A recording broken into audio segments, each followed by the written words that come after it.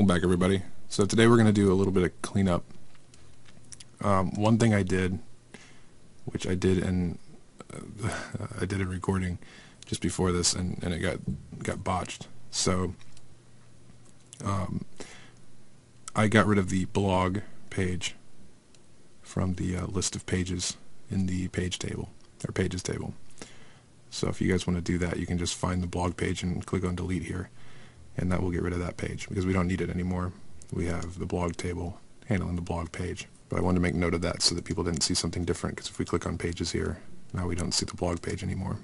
Okay, now what we're going to do is we're going to look at adding new blog entries and also pages.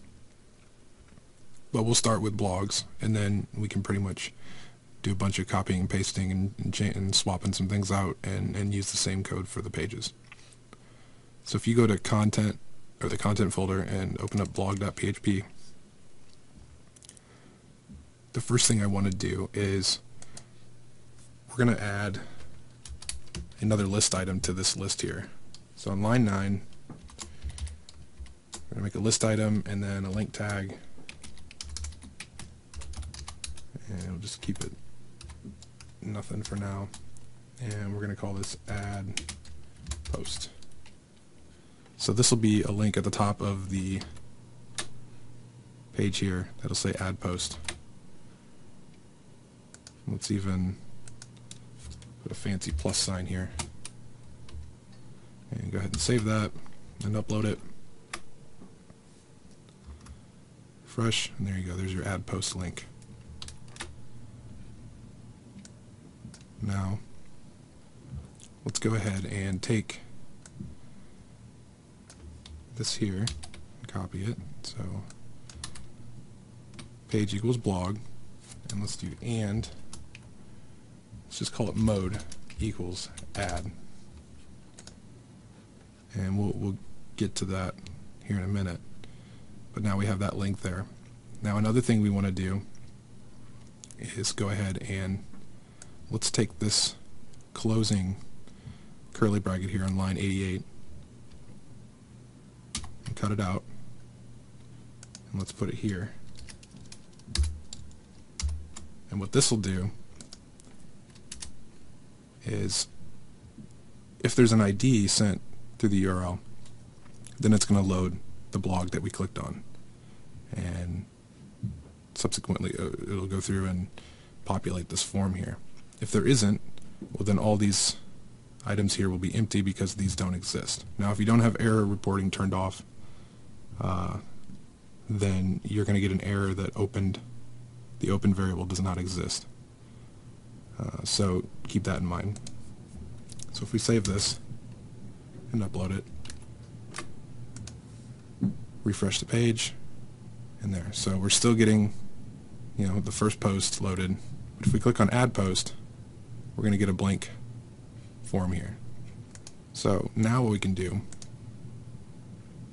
is we can we're going to adjust this query and we're going to do I'm going to do it one way and then later on we'll we'll change it up and make it a little simpler. Um, the query itself will get a little more detailed and complicated but we will be simplifying it. The first way I'm going to show you is going to be the long way to do it.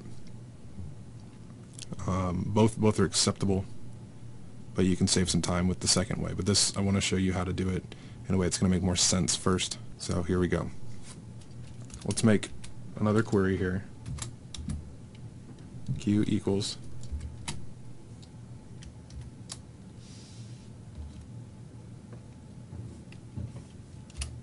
and semicolon insert into blog and the insert query is done a little different than the update query. Instead we have two sets of parentheses. We have the first set, it's going to be the list of fields. And then we type in values. And the second set is going to be the values. So list out our fields here.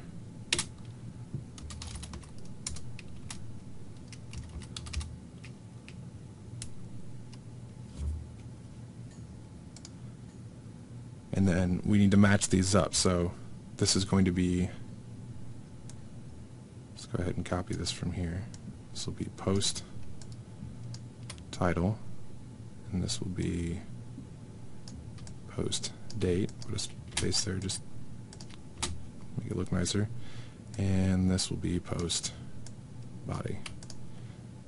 So you need to make sure that title, title, date, date, body, body. So now what we need to do is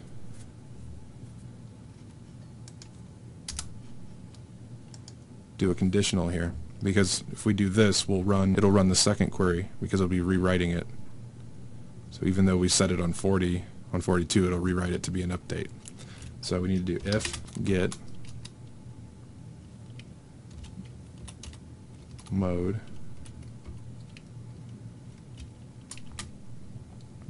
is equal to add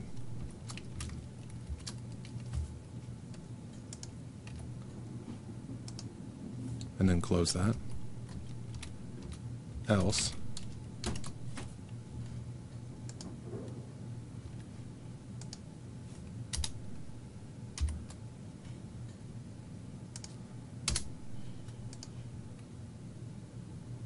oh sorry we got an extra parenthesis there so if get mode is equal to add, then run the insert query. Else, run the update query. Now, neither of these will run unless post under the post uh, submitted is true or is set to 1. So let's save this and upload it. Refresh the page. Now let's try this out. So blog title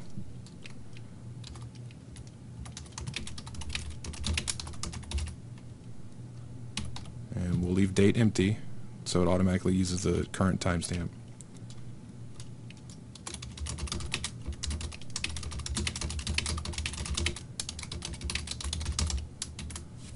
And save changes.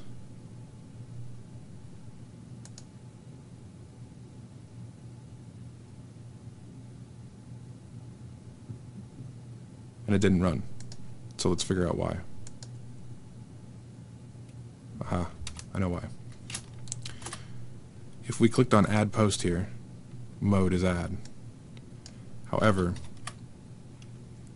in our form action, we just have page equals blog. So let's do something different here. Because there's a couple different ways we could combat this. Let's let's uh let's abandon this whole mode equals add. And instead,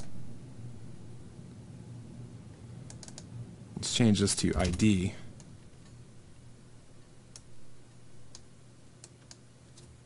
And leave this empty. So if the ID sent to the URL is nothing, or empty, then run insert. If it's not, then run an update. So let's try that again.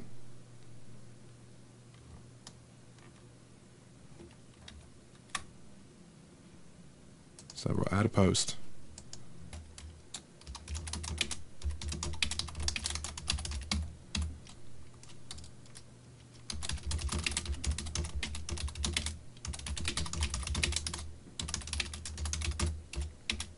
And we'll do two exclamation points because we want it to work.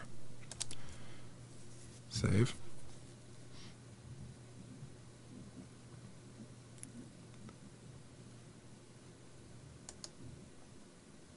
Okay, it worked. However, we noticed that when I hit save, it did not refresh or reload the uh, links on the left. And this is a simple fix. The reason is we're loading the list of blog entries first before we run this insert query. So let's just take this chunk of code here from 37 to 47, or from if to the closing. And cut that. And then come up here. And we'll run this first when the page loads.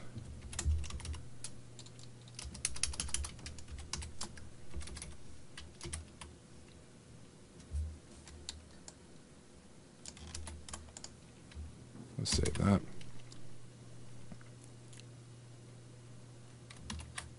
Now let's make sure that uh, our update has not changed. So let's do exclamation point, add a third one there, save changes, and there it's saved. So that's good. We didn't screw up our update. We now have an insert when you click on add. And now we can go back to Dreamweaver and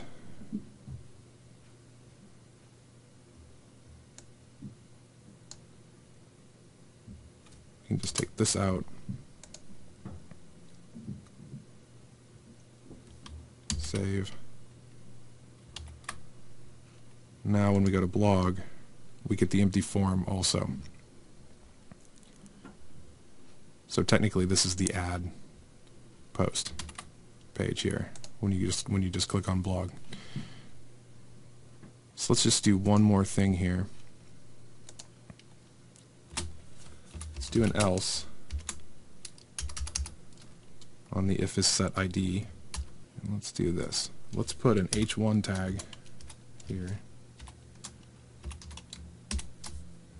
and put the closing portion of it after this block of PHP. Now this may not work further down the line, but for now this will work. And let's just echo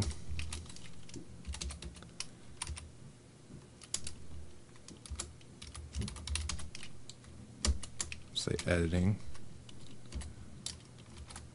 opened title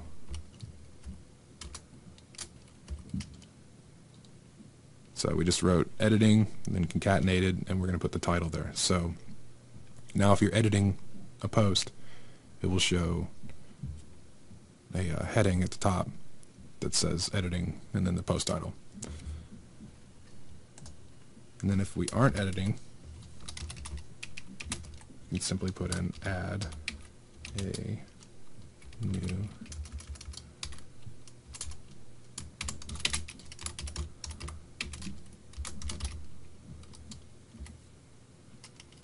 and close that. Save and upload. So add a new blog post, editing my first post, editing my first post, editing second, second blog post. So there you go. Now we can add and edit blog posts. Now on the next video I'll show you the more difficult, I would say, not necessarily difficult, but the uh, the other way to do this. We're going to incorporate the insert and the update into one query and then we'll go ahead and use that on the pages page.